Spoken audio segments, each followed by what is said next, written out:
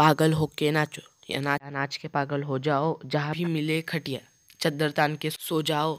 ऐसे लोग बस सोने के आप अपने ब्रेन को डेवलप करना चाहते हैं तो हमारे चैनल को सब्सक्राइब करें। टोंग तो आज हम बात वाले हैं रॉकेट और साउंडिंग रॉकेट के बीच का डिफरेंस रॉकेट ज़्यादा पेलोड लेकर जाते हैं और साउंडिंग रॉकेट कम लेकर जाते हैं। में मेनली पेलोड रिसर्च का होता है। यानी कि वो ऊपर जाते हैं रिसर्च करते हैं पैराशूट की मदद से वापस आते हैं। रॉकेट कुछ कुछ पेलोड भी लेकर जाते हैं, यानी कि क्यूब सेट मैं एक वीडियो बनाऊँगा क्यूब सेट को। और साउंडिंग रॉकेट के बारे में जानना है तो करो। और इस चैनल को सब्सक्राइब करें प्लीज़ जानना है एलियन कैसे दिखते तो। चैनल को ट्वेंटी सब्सक्राइबर्स कंप्लीट इस वीडियो को लाइक